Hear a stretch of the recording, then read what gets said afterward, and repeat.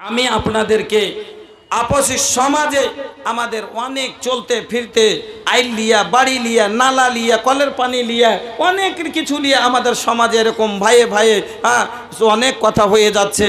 ওই সমাজে আমরা দুদিন চার দিন দশ দিন লয়, মাস দু মাস চার মাস ধরে আমরা কথাবার্তা বন্ধ করে দিই, চলাচল বন্ধ করে দিই। কেন আপনারা কি ভুলে গেছেন?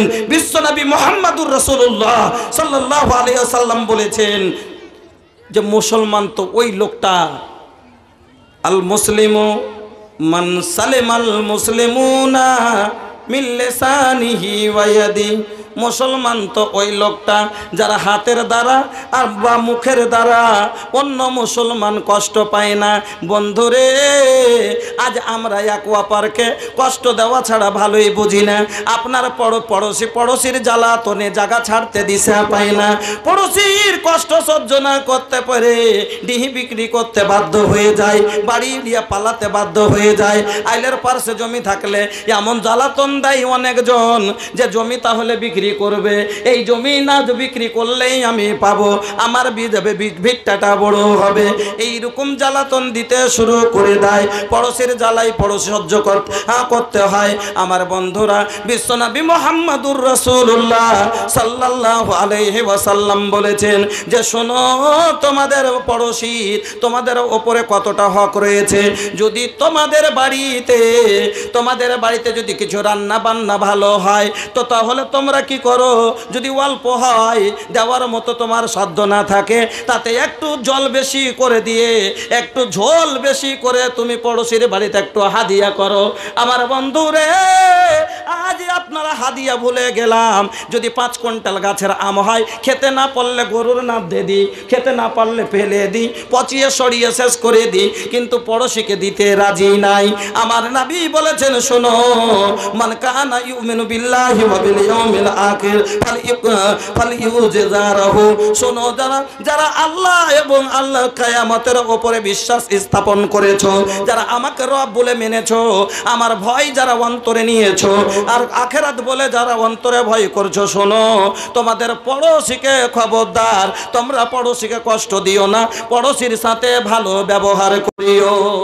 আর আজ পড়োশিতে আমরা এক অপরের সাথে দুশ্মনী দুশ্মনী ছাড়া কিছু করি না। আমার বন্ধুরা, আমার ভাইজানেরা, আমার বাপজিরা, আমি আপনাদেরকে অনেক কথা বলব, মনে করে আছি।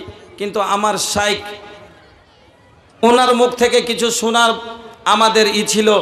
আর উনি বসে আছেন আর ওনাকে বসিয়েছি আমি কথা বলছি, আমি একটু দুঃখিত। কিন্তু আমার মাথায় একটা দায়িত্বও আছে। সেদিকে আমি যাব ইনশাল্লাহ তবে আমি আপনাদেরকে বলছি যে আমরা সমাজে চলতে গিয়ে অনেক রকমের এই রকম সমস্যা নিয়ে ভুগছি। ভাইজান, আল্লাহ বলছেন, শোনো এই রকম যদি তোমাদের হয়ে যায়, ফাইন তানাজা তুমি ফিসাইন কোনোই জিনিসে তোমাদের মধ্যে যদি এরকম ঝগড়া, বিবাদ হয়ে যায়, সে জমি লিয়া হোক, বহু বেটি লিয়া হোক, সেই তোমার কলটি বলের জল লিয়া হোক, পুকুর পুষ্কনির পানি লিয়া হোক বেটাতে বেটাতে চলতে গিয়ে দোষ বন্ধুতে আপসে কোনো কথাবার্তা লিয়ে হোক, হচ্ছে না, হয় না? দুটাই চ্যাংড়া একসাথে হেঁটে যাচ্ছে, আসছে সব দিন স্কুল করতে করতে আর একদিন একটু মজাক মজাকে বাস ঘুরিয়ে দিলে সাইকেল নিয়ে পড়ে গেল, কেটে গেল, এখান থেকে বিবাদের শুরু হয়ে গেল। আল্লাহ আকবার। হ্যাঁ অনেক এইরকম করে কোনোই প্রকারের বিবাদ যখন তোমাদের হয়ে যাবে, তোমরা কি করো না শর্ট করে এই ছোট যাতে তোমরা খবরদার, ওইদিকে যেও না, তোমরা এই কোরআনের দিকে আসো।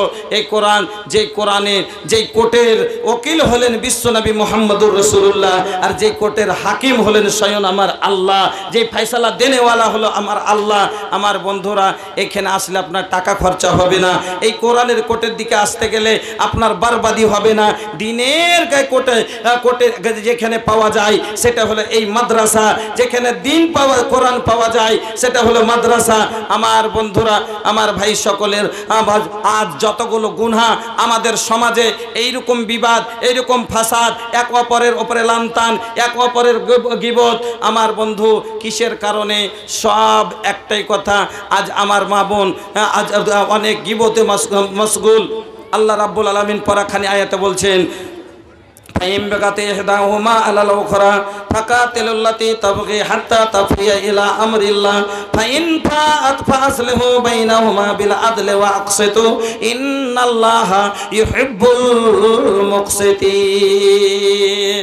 তোমরা যখন ফাইসালা করবে, তোমরা ইনসাফকে বজায় রাখিও। এক অপরের সাথে তুমি কমি বেশি করিও না। কেন ইনসাফের সাথে তুমি ফাইসালা যারা করো, আল্লাহ তাকে ভালোবাসেন।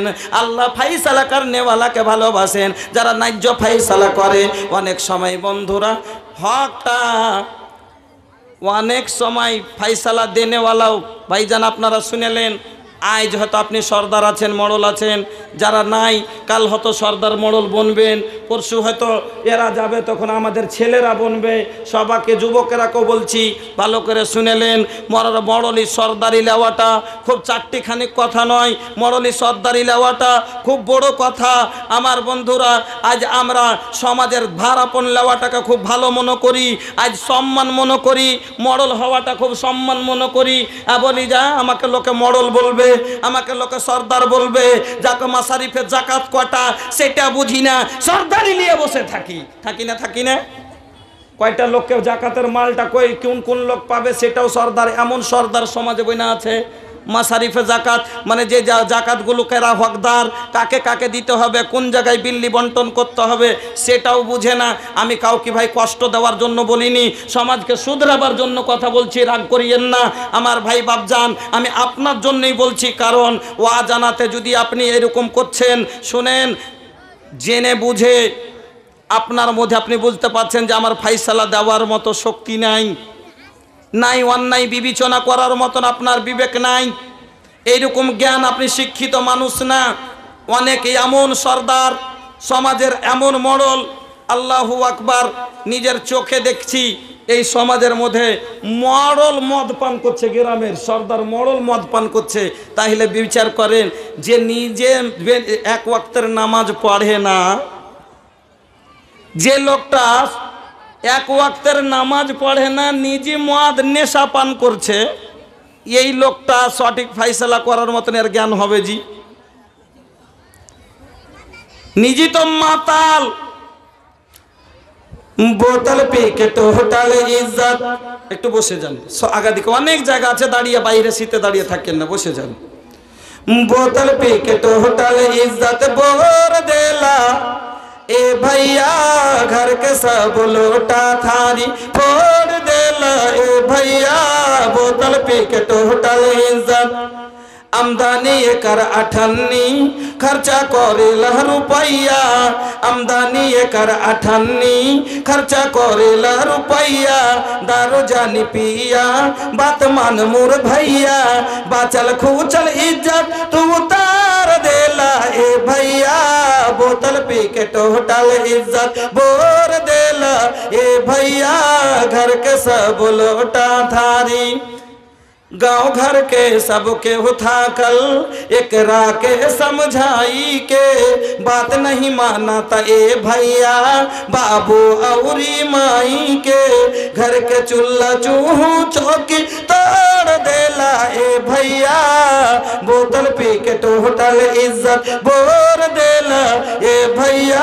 घर के सब लोटा थारी फोड़ এ ভাইয়া, বোতল পিকেট হোটেল ইজ্জত। এমন সমাজের লোক, নেতা হয়ে বসে আছে, আর এর দায়ী হলাম আমরাই লোক, পালা বড় একে সর্দারি দে জরুরি আছে নাকি এর পালা বড় তাকে সর্দার বানাইতে হবে? খানদান বড়, সর্দার একে করো। সে সর্দার নিজের নাম লিখতে জানুক বা না জানুক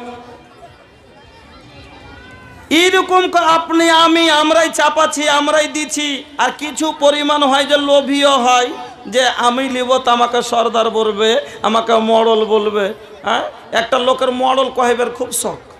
যাকে লোকে মডল কেনে কহে না হ্যাঁ? কইছে, তোকে মডল কহে না, তো এক কাম করগা দু চারখানটা কোদল টোদল কিনে রেখে দিবি, আর দোকান হাল বানিয়ে রেখে দিবি, দোকান মই রাখবি হ্যাঁ এই যুগে তো হাল বলের যুগ নাই। যখনই কেউ মই চাইতে আসবে, বাড়িতে তখন কহবি যে, আমাকে যাই আসবে কবি যে, আমাকে মডল জানে, আমি জানি না। সাটা চাইতে আসবে কবি আমাকে মডল জানে, আমি জানি না। এই মডলের নাম পড়ে যাবে।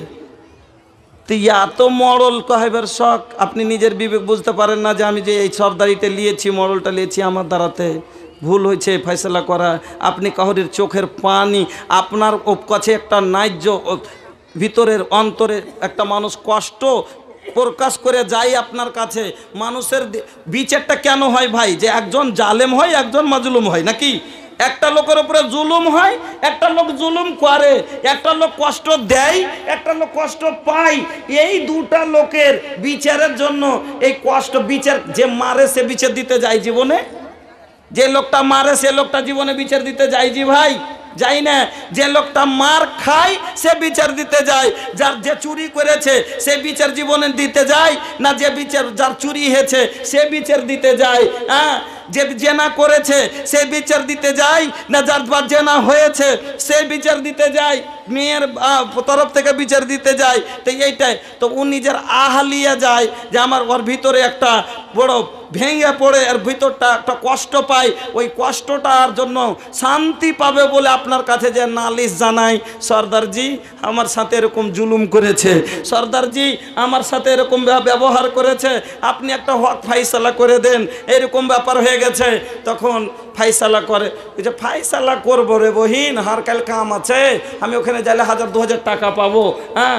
আমি কি বৈশা বৈশা থেকে হার প্যাট পিন্ধন চলবে? হারও তো ফের প্যাট পিন্ধন আছে।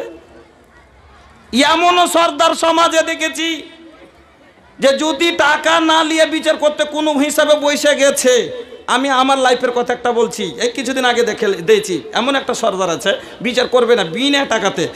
একদিন একটা কোনো তাড়া ঘোড়াতে বিচারে বসে গেছে। তখন বসে যে আমাদের কথাটি দেখতে দেখতে দেখতে তখন কইছে, ভাই হকা খুব ভোক লেগেছে, ভোরে লাহারি খাইনি। উঠে চলে গেল। মানে আর মদি যাতে সাটাসাটি হয়ে যায়। লাহারি, কোন লাহারি খাবে কিসের ভোক লেগেছে? বলে ইশারা করে চলে গেল। আল্লাহ আকবার। ভাইজান আপনি চোখের বরণ কাহরির কষ্ট খানটাকে আপনি ভোগ আপ- আপনার কাছে নিয়ে এসেছিল যে কষ্ট খানটা ওখানে যে ভুলবো, কিন্তু আর কষ্টকে আপনি আরও তাজা করে দিলেন, ওকে আরও জীবনে কষ্ট দিলেন। আর কাউ মুসলমানকে কষ্ট দেওয়া এক মুসলমানের কাজ নয়। আমার নবী বলেছেন, আল মুসলিমু সালিমাল মুসলিমুনা মিন লিসানিহি ওয়া ইয়াদি। কোনো হাতের দ্বারাই বা মুখের দ্বারাই বা কোনো ব্যবহারের দ্বারাই কোনো মুসলমানকে কষ্ট কোনো মুসলমান দেবে না। কারণ মুসলমান তো হলো এর আইনা স্বরূপ, যেমন নিজ আইনা নিজের আইনাতে নিজের মুখটা দেখলে, কোনো জায়গায় নোংরা থাকলে নিজকে ভালো লাগে না। এক মুসলমান তো হলো সেরকম, এক মুসলমানের গায়ে নোংরা লাগুক, সেটা কোনো দিনই ভালোবাসতে পারে না। আর নাবি তো সেটাও বলেছেন যে যত, অতক্ষণ পর্যন্ত তুমি কামিল মমিন হতে পারো না, যতক্ষণ পর্যন্ত যেটা তুমি নিজকে ভালোবাসো, এটা অন্য মুসলমানের লেগে না ভালোবাসবে। যেটা তুমি নিজে ভালোবাসো, এটা অন্য ভাইয়ের জন্য তুমি ভালোবাসো। আর আমি নিজকে ভালোবাসি টাকা, আর ওর জন্য ভালোবাসি কষ্ট। এইটা কি মুসলমানের কাজ? আমার বন্ধুরা, অনেক সময় আমরা ফাই, যখন সমাজের ফাইসলা হয়, কিছু মর, সর্দার জেনে ফেসলা করেন, কিছু অজানে জেনে। বুঝে যদি আপনি ফাইসলা করছেন, ঠিক অন্তর থেকে যে আমি কোরআন আমার জ্ঞান অনুযায়ী ফাইসলা আপনি করছেন, যে আমি কাউকে কষ্ট দিব না, আমার দ্বারাই যাতে ভালো ফাইসালা হয় আর আমার ফাইসালাতে যেন আল্লাহ খুশি হয় আর মানুষও খুশি হয়, এরকম ফাইসালা করতে গেলেন। কিন্তু আপনার বিবেক অনুযায়ী করে ফাইসালাটা একটু ভুল বাড়িয়ে গেল, তবু আপনি গুণাগার হবেন না, বরঞ্চ আপনি নেকি পাবেন। কিন্তু আপনি এমন লোক যে আপনার জ্ঞান বুদ্ধিই নেই। এরকম লোক সমাজে কিছু বড় সর্দার হয়েছে, কিন্তু জানো না তো কেন পদ নিতে হবে না? না লিয়ে করার কারণে গুণা হবে। আমার ভাইজানেরা, অনেক সময় হাকিকাত যেটা, সেটা মানুষ দেখতে পাই না। যেটা ভুল, সেটাই এমন প্রকাশ হয় যে দেখে লাগে, ঠিক এটাই হয়তো সত্য। যেটা ভুল ওইটাই লাগে, এমনভাবে প্রকাশ হয়, চোখের সামনে ফোকাস হয় যে আপনাকে লাগে যে এটাই ঠিক। একটা কোনো কোরআন হাদিসের কথা না, একটা আপনাকে এমনি একটা ঘটনা, উপমা দিয়ে আপনাকে আমি বোঝাবার চেষ্টা করছি। একটা লোক একটা লোক লদ্দির ওই পার্শ্বে একটা অন্ধ লোক বসে আছে। মনিহারি ঘাটের ওই পার্শ্বে একটা লোক বসে আছে, অন্ধ লোক। অন্ধ লোক বসে আছে, যেই আসছে ওকে বলছে, একটু আমাকে তুলে দে রে বাবা। একটু নৌকাখানা হাত ধরে তুলে দে বাবা রে। তো যত মানুষ আসছে, বাই দিয়ে চলে যাচ্ছে, কেউ তুলে না, কেউ তুলে না। একটা ছেলে আর একটা মেয়ে চলে আসে ওখান দিয়ে, স্বামী, স্ত্রী। আব্দুল হাকিম সাহেব। বনবাড়ি থেকে এক মাত্র পাঁচটা মিনিট রোকেন। তো চলে আসছে স্বামী স্ত্রী চলে আসছে। তো ওই অন্ধ লোকটা কাঁদছে আর বলছে, কেউ আছো বাবা রে একটু হাত খান ধরে আমাকে নৌকাতে তুলে দিবে। তো মেয়েটা, দেখেন এটা কোরআন হাদিসের কথা না একটা? এমনি একটা গল্প দিয়ে আপনাকে বুঝাচ্ছি। মনে করে নিলেন যে কোরআন হাদিসের কথা। তো মেয়েটা স্বামীকে বলছে ওগো একটু যাও না। ছেলেটার হাত ধরে একটু তুলে দাও অন্ধ লোকটা চড়তে পারে না নৌকাতে একটু তুলে দাও না। তো ওর স্বামী বলছে যে না না এই ঝামেলাতে আমি যাব না আমি তুলতে যাব না। কেনে বসে আছে এত মানুষ যাইছে আসছে কেউ তুলে না। আমার কত নিয়ে এলো, তুই যাচ্ছিস চল হাট। আমি তুলতে যাব না।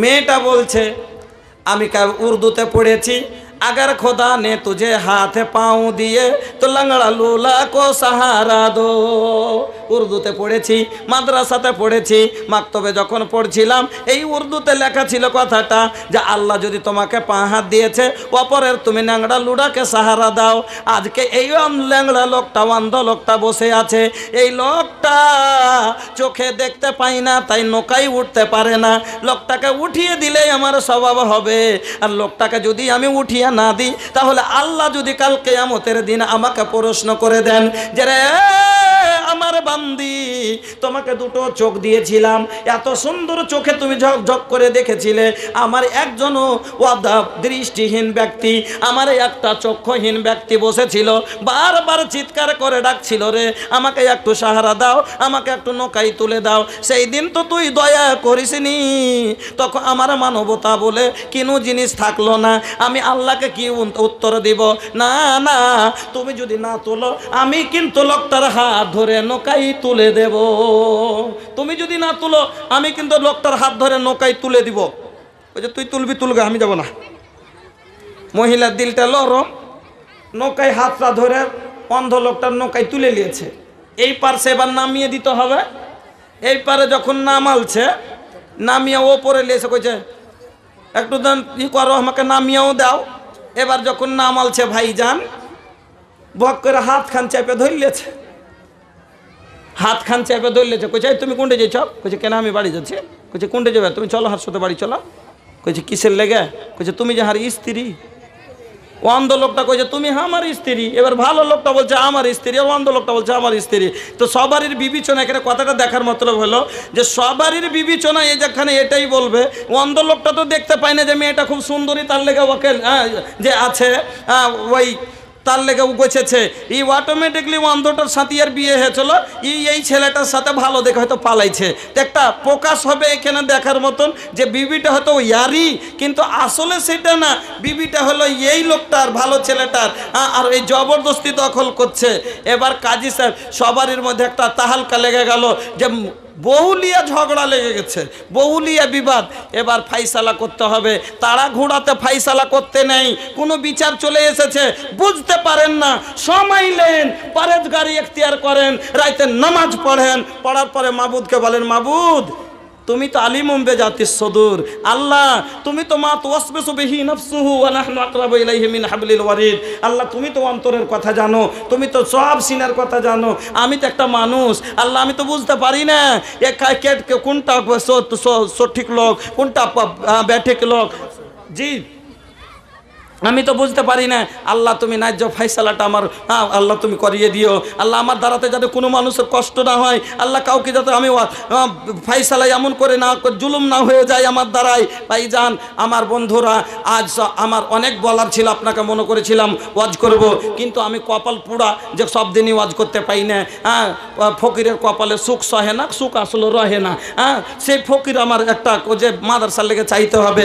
ফল কথা আজ সমাজে যতগুলো এতগুলো এতগুলো বিবাদ, ফাসাদ, ঝগড়া, বহু বেটিতে মা- মা, শাশুড়ি বহুতে মিল নাই। কারণ বহু শাশুড়ির সেবা জানে না, বহু শাশুড়ির হক জানে না। শাশুড়ি জানে না যে বহু মানে কি? বহুটা কার বেটি? বুঝে না, যার কারণে বাড়িতে সুখ নাই। বাবা, বাবার হক পাই না। কারণ হলো কি? যে বাবা এই হক, কথাটা শিখতে ছেলেকে এতখানি সুযোগ দেয়নি যে ছেলেটা বাবার হকটা কি? আজ শ্বশুর, শ্বশুরের সম্মান পাই না। আজ মেয়েরা নিজের স্বামী স্বামীর খিদমত করতে পারে না। কারণ এরা নিজের স্বামীর কি মর্যাদা, স্বামীর কি হক? আল্লাহ আকবার। আমার নবী বলেছেন, কোনো মহিলা আল্লাহ ছাড়া যদি আল কোনো লোকের সাজদা করার আদেশ হতো, মহিলাকে বলতাম তার স্বামীর জন্য মাথা নত করে। কিন্তু আজ মহিলারা স্বামীর পা টিপতে রাজি নাই, তো মাথা নত কোথা থেকে করবে? আমার বোনেরা কেন করে না? পুরুষের সম্মান যদি জানতো, তাহলে করতো। এই এই সবগুলো জানার জন্য একটা মাদ্রাসা এখানে, বানাত মাদ্রাসা কায়েম হচ্ছে। এলাকার বেটি কাউরির বেটি তো কাউরির বহু হবে। কাইল হয়ে আপনার বাড়িতে এই ব্যবহারিক মেয়ে যাবে। আজ আপনার না হতে পারে হয়তো আপনার ব্যাটার বাড়িতে বহু হয়ে যাবে, আপনার পোতার বাড়িতে বহু হয়ে যাবে। এই মেয়েরা আপনার সংসারের আলো করে দিবে। এখানে একটা বানাত মাদ্রাসা কায়েম করেছেন। এই মাদ্রাসাটার জন্য এই জালসা করা হয়েছে। আপনারা সকলেই জানেন, আমার বন্ধুরা এত বড় বিশাল পেন্ডাল এতগুলো সব আয়োজন শুধু একটা মাদ্রাসার জন্য। আপনাদের কাছে আমি আবদার করছি, এই মাদ্রাসার জন্য অন্তর খুলে পাঁচটা লোক, আলহামদুলিল্লাহ, আপনারা সর্বপ্রথম আসেন, আমার হাতে পাঁচটা দিন ইসলাম দিন পাঁচটা যে আরকানায় পাঁচটা খুঁটিতে দাঁড়িয়ে আছে, এই পাঁচটা খুঁটি হয়ে পাঁচটা লোক হন প্রথম। পাঁচটা করে হাজার টাকা, আমি পঞ্চাশ হাজার, বিশ হাজার চাইব না। সব দেখার যেরকম মাহল, ওই হিসাবে, কারণ ভাই বাহরা কামাবে গইলে তো লকডাউন লাগি, গইলে হ্যাঁ এই অবস্থা লকডাউনে মানুষের একটু অবস্থাটা খুব ভালো নাই। কিন্তু ভাইজান জানেন, বাঘের বাচ্চাকে যদি আট দিন থুয়ে পিঞ্জিরাতে বের করেন, না খাইয়ে তবে বাঘেরই বাচ্চা থাকবে। আমরা তো সেই বাঘের বাচ্চা। তিন দিন না খেয়ে যদি খন্দক খুঁড়তে পারে, ফাতা করতে পারে, তাহলে এখনও তো আমাদের বাড়ির দানা ওড়াইনি আমাদের কুঠির ধান ওড়াইনি তাহলে কেন আমরা হারবো গো? আমরা সেই কম যে আমাদের পেটে পাথর বেঁধেও আমরা কি করতে পারি? ইসলামের কাজ করতে পারি? এখনও তো ঘরে ঘরে ধান ভরে আছে, এখনও পাকেটে টাকা আছে ইনশাল্লাহ তবে আসুন, পাঁচটা লোক সর্বপ্রথম আমার কাছে, পাঁচটা করে হাজার টাকা এই মাদ্রাসার জন্য দেবেন। বন্ধু, আসুন সময়টা বাঁচান। আব্দুল আলিমকে আপনার আবুল কালাম চতুর্বেদীকে শুনতে হবে। হ্যাঁ আপনার আরেকজন কাটিহারি বক্তা আছেন হ্যাঁ, শীষ মোহাম্মদ খাতিব ওনাকে শুনতে হবে। আমি আপনাদের কাছে বিশেষ বক্তব্য রাখতে পেলাম না তবে যেটুকু রেখেছি যথেষ্ট। আমার বন্ধুরা আমি আপনাদের কাছে আবদার করছি এই সব সমাজের বিগাড় সুধারের জন্য মাদ্রাসা। এই সব গুনহাকে সুধরাবার জায়গা হলো মাদ্রাসা। যত সব এই মাদ্রাসা যত জীবনে আইসে গেলে, এই কোরআনের হেদায়াত পেয়ে গেলে, এই কোরআন পেয়ে গেলে সব জীবনের গুনহা শেষ, সব জীবনের ভুল শেষ হয়ে যাবে, সব জীবনের অন্ধকার শেষ হয়ে যাবে। এই জন্য এই কোরআনকে কায়েম করেন, এখনই বাতিতে নিমিয়ে যাক, কিচ্ছু খুঁজে পাবেন না। এই জেনারেটারটা এখনই বন্ধ হয়ে যাক, বাতি নিমিয়ে যাবে, অন্ধকারে কিচ্ছু খুঁজে পাবেন না। চাপ্পালখানা কোথা আছে সেটাও দেখতে পাবেন না। ওই রকমই মাদ্রাসাটা বন্ধ হয়ে যাক। এখনই কিচ্ছু খুঁজে পাবেন না। সমাজের এই মাদ্রাসাগুলো একটা ট্রান্সফর্মা এই ট্রান্সফর্মা আছে, বলে বল জ্বলছে, যেরকম এই জেনারেটার চলছে, সে বল জ্বলছে, তাই আপনারা দেখতে পাচ্ছেন কোথায় কি আছে। ওই রকমই এই সমাজের মাদ্রাসাগুলো হলো। তা এই জেনারেটারের মতো, এই জেনারেটার চলছে, বলে কোরআনের দিনের বল জ্বলছে, তাই ভালো মন্দ দেখতে পাচ্ছেন। এখনই আর জেনারেটার চলবে কতক্ষণ? যতক্ষণ তেল আছে ততক্ষণ। মাদ্রাসা চলবে কতক্ষণ? যতক্ষণ টাকা হবে ততক্ষণ। জি। এটা কে? আপনি? তারিকুল ইসলাম। তারিকুল ইসলাম। আরে আপনি হলেন খাস বন্ধু এই মাদ্রাসার। আর আপনার কাছে এক হাজার টাকা লিব মানে? পাঁচ হাজার টাকা লিব। একটা প্রথম কলম এটা? এক হাজার বলিনি তো? পাঁচ হাজার বলেছি পাঁচটা? এখনও এক হাজার বলিনি। হ্যাঁ পাঁচ হাজার বলেছি এখনই সবাই গাওয়া আছে। হ্যাঁ? আচ্ছা দশ হাজার? আচ্ছা যাই গে। যখন বলে দিয়েছি তখন নাকি? চলেন আপনি খাস বন্ধু হলেন আলহামদুলিল্লাহ আমার ভাই ইয়ার মাহফুজ আলমের হ্যাঁ তো ওনার আবদাজে দশ হাজার টাকা নিব। হ্যাঁ নাকি? একটু তাড়াতাড়ি করেন সময় বাঁচান। এক হাজার? না পাঁচ হাজারের নিচে তো একটা কথাও বলব না কেন প্রথম কলম একটা আমি চেয়েছি আমার হাতে পাঁচ হাজার। একবার জোরে নাড়া দেন হ্যাঁ একবার জোরে নাড়া দেন তো। আরে বুঝান না একে রাখে সান বা জিন্দা মে বা মে জিন্দা দিলি হো। দুগো পনসাওয়া মিলল রহল ভাই আউরি আট গো মিলি হো। পাঁচ হাজার টাকা না রই তকবে এই ভাইয়ের বাড়ি হলো হরিশ্চন্দ্রপুর। হরিশ্চন্দ্রপুরে এলাকায় কাজ করে এ ভাই আমার তারিক ভাই এক হাজার নগদ চার হাজার বাকি হ্যাঁ দিয়ে দেবেন बाकी बाकी लाई अल्हम्दुलिल्लाह माशाल्लाह अरे बाप रे कतना बाहू तनी दे दी जल्दी जल्दी दी ही ना अरे हम गिन ले एक को बेसी हो जाई तो में कोनो फर्क नहीं खे हाँ কয় ফিরেন করে গুনছে ছয় চার হাজার এক হাজার থাকল? ও, পাঁচশো টাকা থাকল।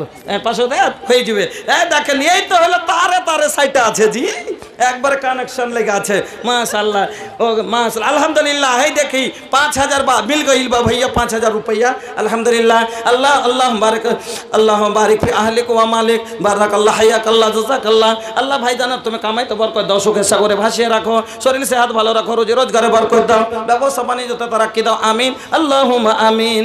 আর চারটা লোক আবদার করেছি, পাঁচটা লোক চেয়েছি, পাঁচটা করে হাজার টাকা। এই মাদ্রাসাকে একটু মহাব্বতের সাথে, গরিব মাদ্রাসা দেখতে পেলাম। যে কিছু নাই, ঘর দুয়ার গলায় খেড়ি টেড়ির হয়ে আছে। একটু আপনারা মহাব্বতের সাথে পাঁচটা হাজার বা পাঁচ কুইন্টাল কেউ মাকে ধানগুলো লেখান, যা দিবেন, কিন্তু পাঁচটা লোক আসুন, অস্তে আল্লাহর। আর তিরিশটা লোক আপনারা তো জানেন যে আমি তিরিশটা কোরআনের মেম্বার বানাই, সব দিনই জানেন। এখন বলবেন যে কতটি হয়েছে মৌলানা? কিষানগঞ্জ থেকে শুরু করেছিলেন মেম্বার। বানাইতে এখন কতটি হয়েছে? প্রথম মেম্বার কিষানগঞ্জের মাটিতে হয়েছিল, কোরআনের একজন মেম্বার, আর এখন বর্তমানে আঠাইশ হাজার আড়াইশো মেম্বার, আঠাইশ হাজার আড়াইশো মেম্বার, যিনারা কোরআনের জন্য নিজের জীবন দিতে রাজি আছে। যে রাসুলের জামান আমরা পাইনি। মাওলানা, সে জামান আমরা যদি পেতাম, তাহলে আমরাও কোরআনের জন্য জীবন দিতাম। কারণ আমা, এই কোরআন আমাদের কাছে এসেছে। এই কোরআন আপনার আমার কাছে পৌঁছাতে আপনার আমার হেদায়াতের জন্য। জানেন বদরের মাটিতে চোদ্দ সাহাবি নিজের গর্দন দিয়েছেন, ও ওহুদের মাটিতে সত্তর সাহাবি নিজের গলা দিয়েছেন, আমার রসুল নিজের দাঁত দিয়েছে, ঝরিয়েছেন। এই দিন আপনার কাছে পৌঁছিতে অনেক কষ্ট হয়েছে। আমার রসুল, আপনার রসুল যদি আপনার কাছে, আমার কাছে কোরআন পৌঁছাইতে যদি এত কষ্ট করতে পারেন, নিজের মুখের দাঁত ঝরাইতে পারেন, তাহলে কি আপনি আমি হাজারটা টাকা দিতে পারব না? পাঁচশোটা টাকা